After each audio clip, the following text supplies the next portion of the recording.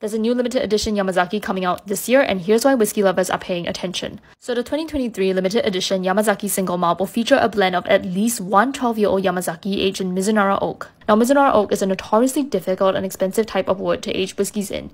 This is because it's extremely rare and grows in a curvy fashion, making it difficult to find enough straight cut slabs to form a cask with. But when used right, it imparts some really beautiful notes of coconut, yuzu, and even smoky temple incense into the final whiskey. The new bottle label is even made of Japanese paper with tiger spots on it, which Suntory believes is a mark of the high quality Mizunara wood used. There's a total of 2,000 bottles available for sale via Velit, but what do you think? Would you get this? Follow for more.